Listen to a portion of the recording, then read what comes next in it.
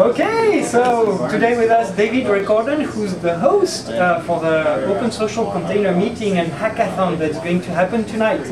So David, tell us, uh, wh why did you organize the container meeting here at Six Apart? It's really great. Thanks very yeah, much. Yeah, no, definitely. Thanks for coming. Thanks for letting us host. Um, I mean, mainly just like it's great to have a space up in the city, up in San Francisco, where we can have like 90, 130 people over um, and be really productive. Um, I think broken up into those two different groups. Um, got a bunch of stuff done today, so it was really nice just having a bunch of people in the office and working on cool things. And um, hopefully tonight we'll see a bunch of that coming out. Wow, do you know how many uh, hackers are going to come for the hackathon tonight? So, there, I guess, well, we were told yesterday there would be about 35 people in the morning. That was about 95. So, just for that partner meeting. Um, and then so far there are about another like 65, 70 people RSVP'd on upcoming and another like 20 or 30 on Facebook. So, we could be up like 130, 140, um, which will definitely push this office towards its limits a little bit.